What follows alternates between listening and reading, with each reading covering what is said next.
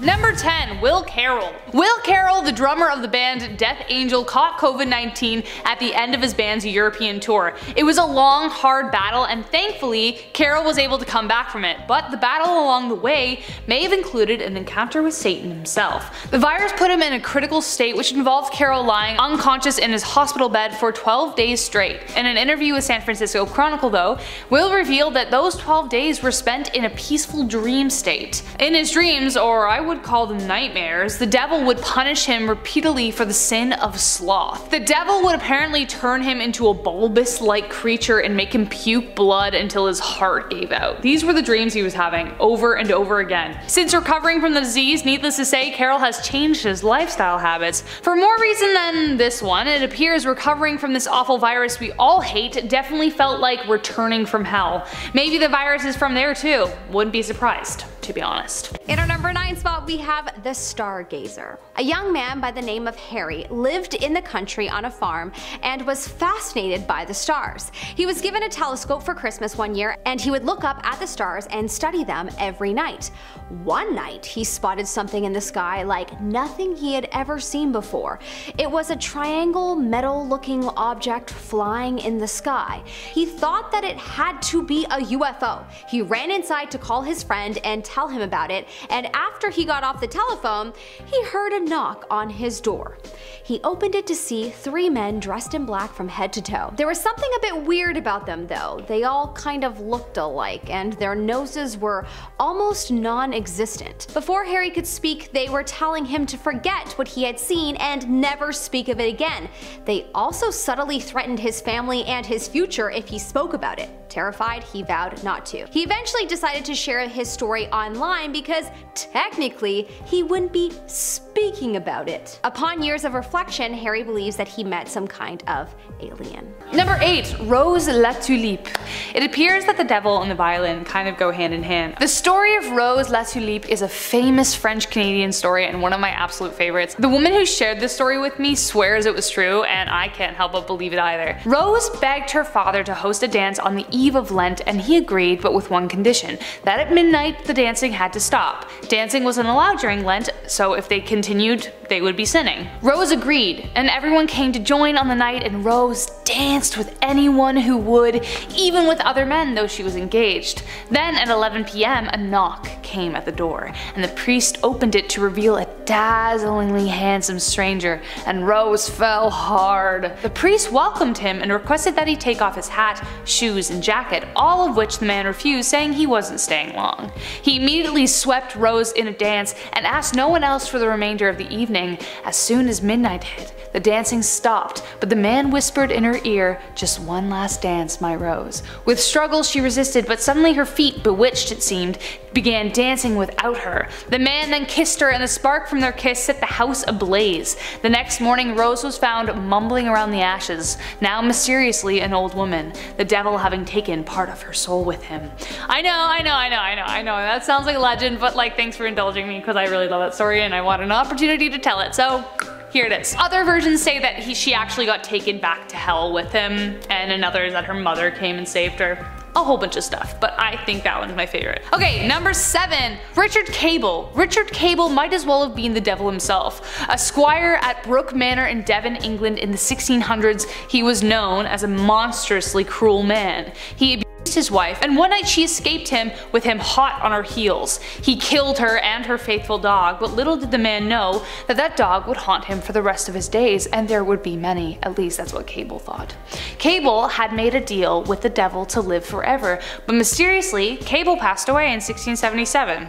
But it appears the devil did give him everlasting life, as a spirit walking the moors at night, forever being chased by a herd of hounds. The locals even put iron bars around his tomb because there were so many sightings of him wandering around the moors. Instead, now, a red glow occasionally emits from his resting place and the howls of demons are said to gather, waiting to claim his soul for their master. Number 6. Saint Dunstan Saint Dunstan was a saint who lived in 900s and for some reason the devil loved to visit him.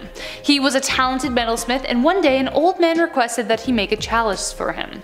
Dunstan agreed but when he looked back up at the old man he had shifted into a woman and then very suddenly a boy. Immediately he knew it was the devil but fearing his wrath, concealed his distress and crafted the chalice. Subtly though, he put his blacksmith tongs in the fire and quick as he could he thrust the tongs onto Satan's nose and cast him from the cell. That wouldn't be the last time he saw the devil though. Dunstan would face him once again and attack the devil by hammering into his hoof and only agreed to remove it if the devil agreed never to cross a threshold where a horseshoe hung. And that's why today horseshoes are considered good luck, so take a lesson from that. Number 5. A Boy Named Scott. An article written by Richard J. Bonenfant recounts several near-death experiences in order to try and see similarities. Some usually describe a light or a tunnel, but after a little boy named Scott got into an accident, he may have met something much darker. On June 10, 1995, Scott and his family were enjoying getting ice cream from the ice cream truck, as you do, but Scott was so excited he ran out from behind the truck and he got hit by another motorist. He was almost declared dead, but 8 hours later, thankfully, he awoke in intensive intensive care. The weirdest part was that he described in perfect detail what had happened to him as if he was watching from across the street. He knew every single detail, it was really freaky. Even recalled trying to give his dad a hug, but passing right through him. The scariest thing though was who he ended up meeting. He suddenly faced a dark vortex and felt himself being drawn into it by the haunting, putrid image of the devil. Scott said he looked like a man made of rotting flesh and he tried to grab Scott but he was whisked away into a tunnel of light. So it was kind of like the devil's trying to steal him from God. I'm glad things ended well for the little boy, getting to be with his family again, but still, not something anyone wants to see in the afterlife. Number 4. Dr. Paul Thigpen. All of a sudden I felt as if the darkness had filled my whole body and that there was maybe a little part of it that was still me. That was a clip of an interview with Dr. Paul Thigpen, who despite being raised under a Christian household, became an atheist before he was even 12 years old. That is until one day he was hanging with his friends when he was around 17 by the water in the front seat of a car. All three of them were squished in, and a palpable darkness began pressing into the top of his head all the way to the bottom of his toes. He said it took over the majority of his body and though he'd become an atheist, he didn't drink or do drugs so we know this isn't a psychedelic experience, but his body suddenly felt like a kind of superhuman strength taking over him. A voice in his head whispered, I'm throwing you into the water. To this day, Dr. Paul can't swim and his body started moving across his friend's seat to leave the car. He knew he was going to die. Then he heard another voice that said focus on the cross. He suddenly remembered the cross cross his girlfriend gave him, so he grabbed it and meanwhile his friends were like freaking out. After holding the cross for a while, he said the darkness subsided and when he told his friend what had happened, he said, that's strange. The same thing happened to my girlfriend. He sought counsel from another friend who without a doubt said that he'd been visited by the devil. Later he discovered that his girlfriend's friend was a witch and that kind of pointed all the arrows in that direction, so who knows. Was it a demon or in fact the devil? Either way, something changed his mind. Watch the rest of the interview and decide for yourself. Number 3. The Man with the Glowing Eyes. Reddit user Dabby underscore U underscore 69 had an experience as a kid that I don't think anyone could be the same after. They grew up in a pagan household, which apparently meant you, you saw a lot of weird stuff. But one day, on a Tuesday in the afternoon, she was playing with the daughter of a family friend who they called Jay, just outside as you do. So they're just playing and then all of a sudden Jay just stops dead in her tracks and points behind her. She froze and then turned around slowly to see, and I quote, a tall shadow man about 6-7 feet tall in a trench coat and hat. The scariest thing about him was his eyes. Oh god, his eyes. Huge, red, and glowing circles, but its actual eyes were small, bloodshot, and his pupils were tiny. The man reportedly tried to strangle them, but they bolted too quick for the house. Once they told their moms, they in turn freaked out because apparently at the same time the man appeared, the TV had turned long static. They brought in a psychic who said, My love, the devil is here and he wants to hurt you. He was sent by someone, but we don't know who. The woman then gave a crystal bottle filled with sage and lavender along with something else to ward him off, and apparently the bottle is running out. So I hope she's okay. Number 2. Father Gabriel Amorth Father Gabriel Amorth was the official exorcist for the Diocese of Rome and claimed to have performed 60,000 exorcisms before he died in 2016. But one day in 1997 he encountered a spirit he never thought he'd see. A slim young peasant man was escorted to a small room where Father Amorth waited him. Immediately he knew something was wrong. He requested the help of Jesus and as soon as he did the man began to spit and curse in English which wasn't a language the man was known to speak. But then the man was seething with anger and drool drip from his mouth as he stared down the father. He tried to attack him but the exorcist held him back with prayers, demanding the demon reveal its name. He called out, unclean spirit, whoever you are and all your companions who possess this servant of God, I command you tell me your name, the day and the hour of your damnation. The man snarled and what came out next paralyzed him.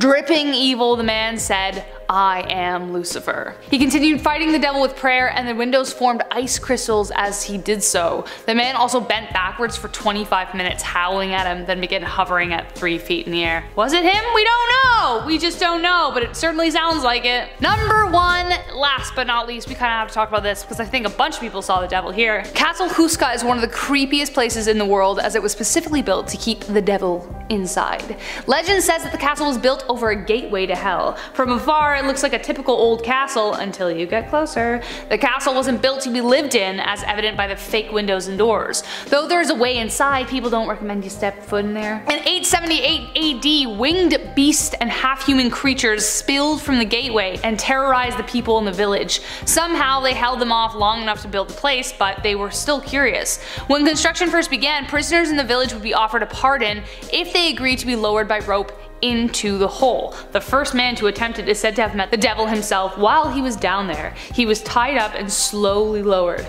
After a few moments in the darkness, the man began screaming and begged to be pulled up. By the time they hauled him up, he looked as though he aged 30 years. His hair was white, his skin creased and speckled. They tried to discover what he had seen, but the man was incoherent and was later put into an insane asylum before dying two days later. Starting us off at number 10, we have Kazam, otherwise known as Shaquille O'Neal. For any of you who have seen that movie, man oh man, I rewatched it recently and I do not think it holds up. But if there are Kazam fans watching, please let me know what you think down in the comments. Anyway, back to Shaq. Shaquille O'Neal was born March 6, 1972 and little did his mother know, she would be giving birth to one of the most famous basketball players of all time as well as a modern giant. Shaq clocks in at 7 feet 1 inch which is 2.16 meters in height and has quite the list of hilarious pictures comparing his size to other popular celebrities. One of my favorites is a picture of him with a-list comedian Kevin Hart. We all know Kevin is a shorter guy, but next to Shaq, he looks like a tiny villager. Luckily for Kevin, Shaq is just one large friendly giant unless he's on the court. Shaq no longer plays basketball, but is now a sports analyst on NBA related TV shows, and even though nowadays he- Number 9. Giuseppe Tartini. Everybody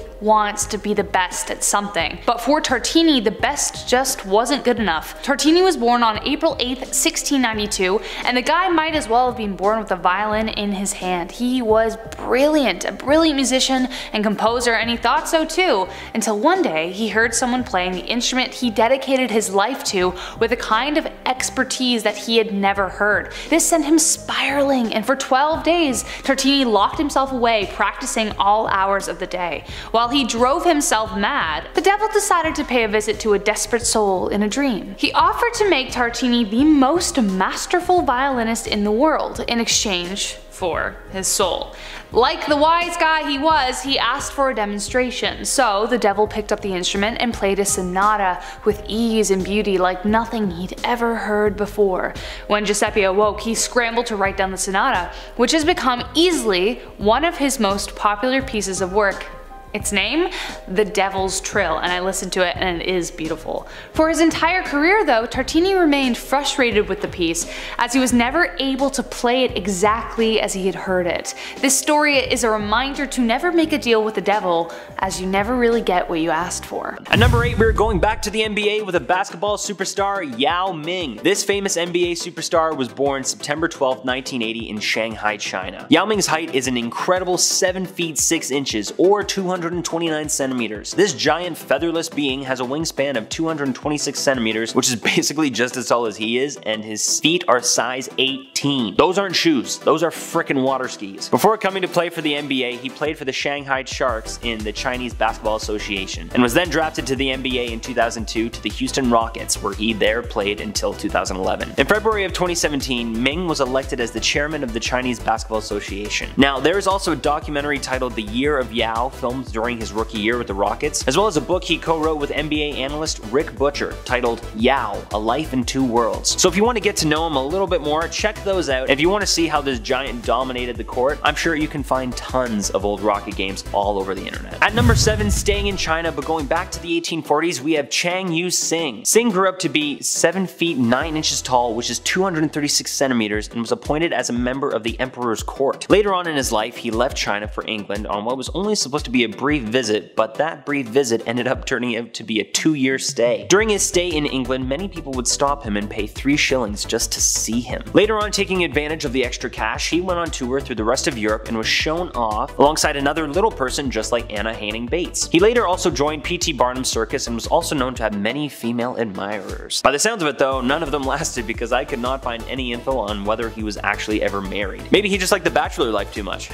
I get it. Anyway, Chang Yu Sing later passed away in 1893 and his funeral was only attended by 50 of his closest friends due to his own wishes. His coffin was 8 feet 5 inches long, that's 260 centimeters, and I don't want to imagine what it was like being one of those pallbearers. If I was one of them, I probably would have let him down. At number 6, we have Patrick Cotter O'Brien. Patrick was born in Kinsale, Ireland on January 19, 1760. He grew up to be 8 feet 1 inch tall, which is 244 centimeters, and he was the first of 13 known people to grow past 244 centimeters. The age of 18, he worked as a bricklayer. Needless to say, unlike the rest of his bricklaying colleagues, he did not need a ladder to reach the top of the cottages that they were working on. After he had enough of bricklaying, just like the most of the other giants on my list, he went into show business where he later went just by the name of O'Brien. He traveled around in a specially made carriage and apparently he was once stopped by a highwayman who when seeing the giant O'Brien inside, immediately ran away with his tail between his legs. His massive weight took quite the toll on his body which brought him to his death on September 8, 1806 at the age of 46. I'm sure his weight caused him many troubles and struggles, but I bet it wasn't easy for the horses pulling him in the carriage either. That being said, the more horses, the easier it is to pull a 8 foot tall giant. That's the old saying, right? Coming in at our halfway point at number 5, we have another Canadian, Joseph Edward Beaupre. Joseph was born in Willowbunch, Saskatchewan on January 9, 1881. His parents were what was considered average height, and honestly, so was he until the age of 3, and he started growing like crazy. By the age of 9, he outgrew his own parents and he was 6.5 feet tall. At the age of 17, he was so big that it is reported that he lifted an 800 pound horse. I don't know if that's true or not, but if it is, then that means he was not only tall, this guy was yoked too. He reached his full giant potential at the age of 23 at 8 feet 3 inches. That's 251 centimeters. He had to wear giant custom made shoes that were size 22. If Yao Ming's shoes are water skis, then these are freaking snowboards for each foot. He had dreams of becoming a cowboy, but gave up because his feet would still touch the ground while atop his bucking bronco. He later joined a circus as well as hoping to capitalize on his size, but it took its toll on him, especially because he suffered from tuberculosis. He sadly died on July 3rd at the age of 23. Now, this story gets pretty sad. After his death, the circus refused to help his father pay for the burial, so his body stayed with the undertakers, who then started displaying his corpse in store windows and museums. In 1907, his corpse was found in an old circus hangar and was then given to Montreal University, where it is mummified and stored. In 1970, Ovilla Lesperance, descendant of Joseph, requested her relative's body back, but was at first denied because the university didn't want his body stolen and put up for display again. Finally, Ovilla got her relative's body back and Joseph was cremated in September of 1989, 85 years after his death. Even though his circus employers and maybe the Montreal University people are now deceased, I still have one thing to say to you. Screw you guys. At number 4, we have Arthur Caley. Arthur Caley was born in Sulby, Isle of Man in 1824 and was considered a normal-sized human being until his late teens when he started growing much, much taller. Maybe it was an after effect of puberty. He reached 7 feet 11 inches tall, which equals to 241 centimeters. He weighed over 392 pounds, which is 178 kilograms. His size earned him the name Manx Giant, and he was known to be a bit more wide than his other giant friends as well. He was frequently seen in exhibits in Manchester, London, and Paris before suddenly and mysteriously disappearing. His mother reported that he was dead, but many doubted this because his life had been insured for 2,000 pounds only a few weeks prior. They believe it was a case of insurance fraud, and that a tree was actually buried in his place. Sure enough, Caley was not actually dead. He traveled also to join P.T. Barnum's circus, and he was known as Colonel Ruth Goshen, the Arabian Giant. His former life as the Manx Giant stayed a well-kept secret until his death in 1889. At number 3, we have Angus MacAskill. Angus was born on the island of Bernay in Scotland back in 1825. The Guinness World Record books recognize him as the tallest true giant to have ever lived because his height was not caused by any kind of growth abnormality. Funnily enough, he was so small at birth that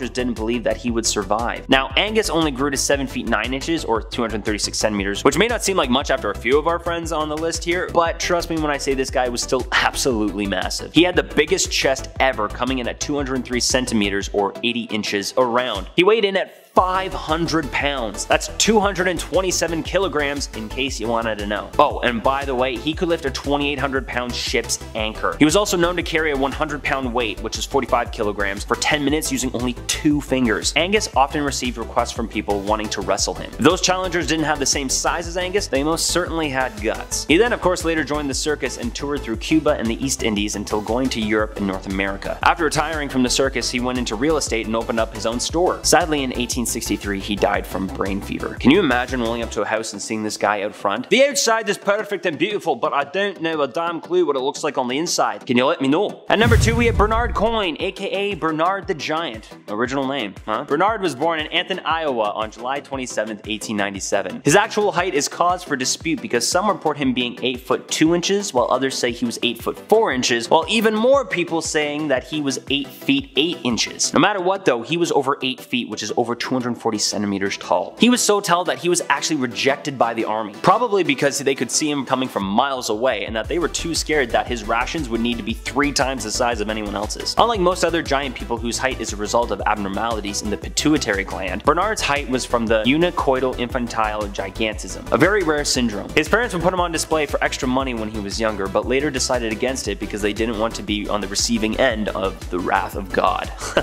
Good idea, jerks. Bernard preferred a quiet life and turned down countless offers to go on exhibit ever again. His shoes were a size 24, which means they're considered something, I don't know, bigger than a snowboard, and he weighed in at 300 pounds, which is 136 kilograms. He sadly passed away at the age of 23. Man, being put on display for a couple of extra bucks by your parents. Too bad child services were not around yet. And finally, coming in at our number one spot, if you ever visited Clifton Hill on the Canadian side of Niagara Falls, you'll know this guy. Robert Wadlow. Robert was born on February 22nd, 1918 at a normal size. However, he quickly started growing at the age of 5 and he was already wearing clothes intended for teenagers. At age 8, he was taller than his 5 foot 11 inch father and could even carry him up the stairs. He then joined the Boy Scouts at age 13 and had to have his own uniform, tent, and sleeping bag specially made for him. In 1936, he joined the Ringling Brothers Circus as a curiosity. He had a huge appetite and ate around 8,000 calories a day. In case you're wondering, the average human eats 2,000 to 2,400 calories a day. Damn, that guy can eat. He unfortunately suffered suffered from some leg issues and had to wear leg braces and also often use a cane, but nevertheless, he kept growing. Sadly, one day, one leg brace was fitted improperly and ended up causing him a huge blister on his ankle, which then became infected. Tragically, the infection killed him at the age of 22 on July 15, 1940. He was last measured June 27, 1940 at 8 feet 11 inches, which is 272 centimeters. He was a true giant and not only was he actually missed, but so is his Niagara Falls statue at the Guinness Book of Records Museum. I remember countless trips where I actually measured myself up against him and that was a lot of fun. Miss you, Robbie. In our number 10 spot, we have UFO spotting in Washington. Two harbor patrolmen in the Washington state named Harold H. Dahl and Fred L. Chrisman spotted a UFO over the water of Puget Sound, Washington. It was 1947 and after this incident they were approached by a man dressed in black that forcefully advised them to not not discuss the incident further. This was one of the first sightings of the Men in Black. The men were described as being extremely mysterious, never looking the patrolman in the eyes. Ooh, probably to cover up their reptile eyes, am I right? At number 9 we have Anna Haining Bates. Born in the Canadian province of Nova Scotia back in August of 1846, Anna was just like every other child until she started a bit of a growth spurt. A growth spurt that never ended. By age 5 she was already 4 feet 8 inches, that's 142 centimeters, and weighed over 100 pounds. That's over 45 kilograms. Finally at age 22 she came in at 7 feet 6 inches, that's 229 centimeters and weighed 350 pounds which is 159 kilograms. Bates went into show business around the age of 16 and would often be shown opposite to a little person to show the incredible difference in size. But being that tall has its disadvantages. In July of 1865, Anna almost burned to death during a fire at the famous P.T. Barnum Museum. The stairs were engulfed in flames and she was too tall to jump out the window. Luckily for her, she was saved by other museum employees who broke through walls to escort her out and was then assisted with a crane. That's crazy. It's hard enough sometimes getting emergency crews to the scene, let alone a crane. But hey, I'm guessing they didn't have the same kind of Toronto traffic as we do nowadays. Anna then later went on to marry another giant by the name of Martin Van Buren, aka the Kentucky Giant, who was 7 feet 3 inches tall. She later got pregnant with two children, but they both tragically died at birth. Anna herself later died in 1888 at the age of 41. In our number 8 spot, we have the president's Men in Black. In 2012, it was discovered that President Obama of the USA had a few men in black working for him that could have very well been from another world. Footage was discovered of his security at the US-Israel Policy Conference, and they were looking rather alien-like. From the front, completely normal. From the back, we see a bald man with no ears and a pointy chin. His nose looks short and rounded, and his eyes appear to be dark and sunken in. Do you think there were possibly alien men in black guards guarding the president that day? It's definitely possible. In our number 7 spot we have the Firewatch sighting. A man named Gabe was working a shift at a Firewatch tower in the woods when he saw a black SUV pull up in the wee hours of the morning. A few minutes later the sound of a firearm went off. The next thing he knew there was a knock on his tower and two large men in black were waiting behind the door. He opened the door and they immediately questioned him, asking him to reveal what he saw. He said he saw nothing, and after a moment they appeared to believe him. They told him to never speak of this experience to anyone. Looking back, he definitely thinks he met one of the men in black. Originally he chalked these men up to some kind of gang, but now he definitely thinks that those two men were the men in black. In our number 6 spot we have the UFO researcher. In 1976, Dr. Herbert Hopkins, who is a UFO researcher, got a call from someone who claimed to be a rep from a New Jersey UFO organization. The man asked if Hopkins was alone and if Hopkins would be willing to share his research. Hopkins said sure and began sharing with him. Once he hung up the phone, a man was at his doorstep. He described the man as being bald without eyebrows, wearing a neatly tailored black suit. He had red lips and pale white skin. The man took out a coin and told Hopkins to watch it. It started to develop a silver color instead of copper, and then the silver became bluish and the penny was getting quite fuzzy, you know, out of focus, blurred, and then it was simply gone. Apparently after this incident, he was instructed to destroy all of his research. In our number 5 spot, we have the Dan Aykroyd story. This story is wild to me because I have literally had the thought, why doesn't the dad from Crossroads barely work anymore?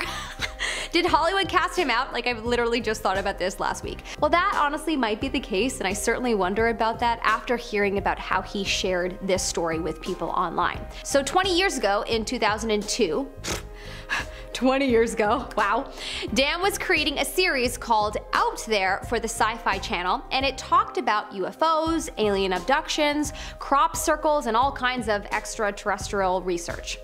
One day he was in the middle of doing some interviews when he went outside between 42nd and 8th Street in New York for a break, and he went on a phone call with Britney Spears, funny enough, talking to him about their new movie, when he looked out at the street and saw a long black SUV and two guys in black outside of it.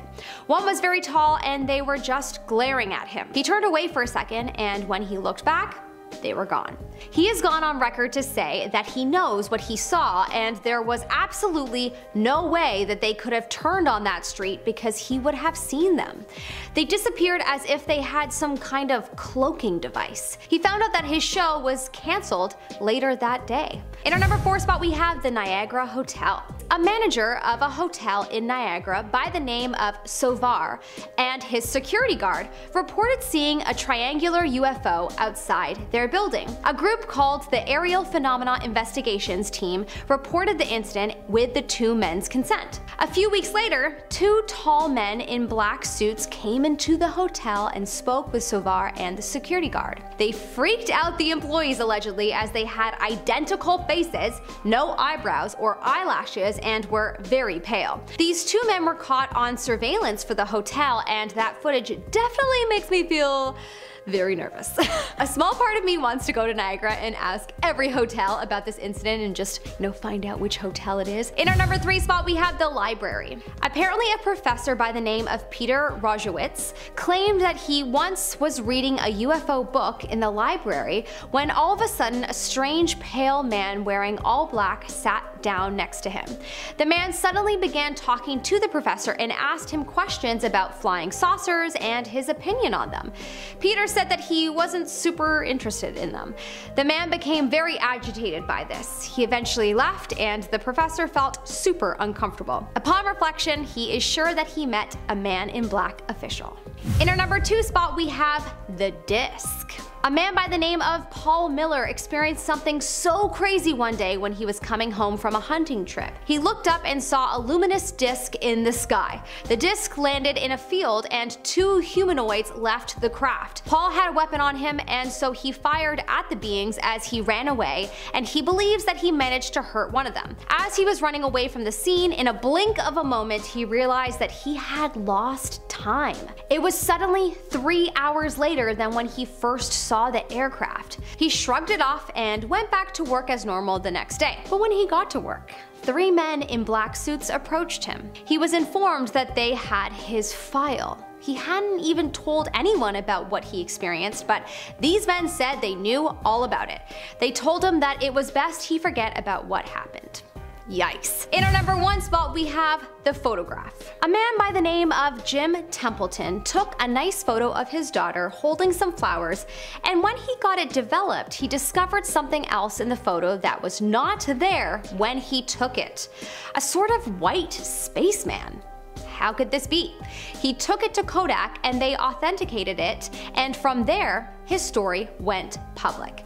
Not too long after, he was approached by two government agents that called themselves number 9 and number 10. They demanded to see the site of where the photo was taken, and when they discovered that Templeton didn't actually see the spaceman in person, that he just showed up in the photograph, they got very angry and walked away. Not long after that, Templeton was contacted by two employees at a missile launch pad that was located near the site where the photo was taken, and these men claimed that they had seen two figures that resembled the men in the photo. Ooh, so weird. Props an alien spaceman. What a wild story.